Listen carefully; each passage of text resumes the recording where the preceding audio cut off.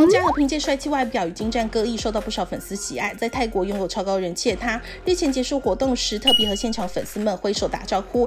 但没想到他走到保姆车门旁边时，车头突然出现一名诡异女子，拿着不明物体不停搓他的腹部和胸部。但旁边的工作人员还有保全们都隔了一会才有反应，王嘉尔也吓得赶紧倒退，并瞪大着双眼，呆呆地站在原地不敢动。回过神后才赶紧确认自己身上有没有异状。而影片在网上曝光后，粉丝纷纷傻眼，直呼保安真的要加强。怎么反应全都慢一拍？如果这次该名女子拿的是刀，事情就严重了，也瞬间在网上引起高度讨论。